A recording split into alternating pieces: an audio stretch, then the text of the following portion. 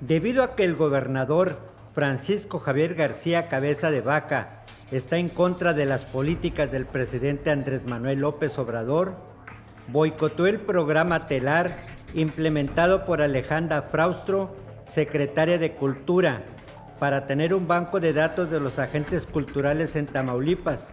Pero ahora que les pidieron resultados, cumplieron al ahí se va en Matamoros. Primero, Sandra Luz García Guajardo, directora general de Cultura en Tamaulipas, se hizo la Oxisa.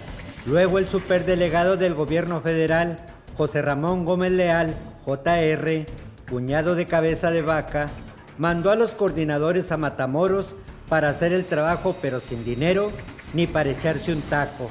Por eso a las carreras, a través del Instituto Matamorense para la Cultura y las Artes, por sus redes sociales, hicieron una invitación de amigos para que se inscribieran, olvidándose de los artistas callejeros, los que se dedican a la práctica de show infantiles públicos y privados, los de las escuelas, los de los ejidos. Total, para lo que importa, la contratación de artistas foráneos deja más ganancias modificando facturas a su modo.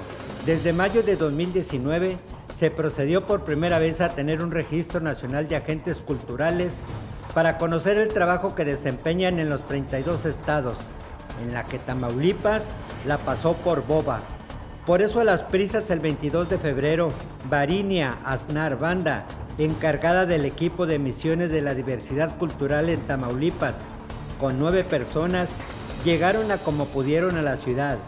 Pidieron prestado el Imaculta, el baño, hojas, computadoras portátiles para hacer el registro nacional.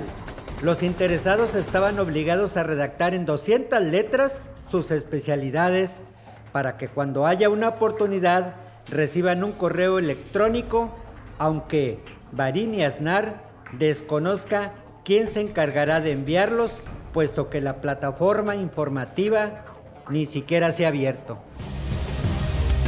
Revista Vertical. Periodismo que va a fondo.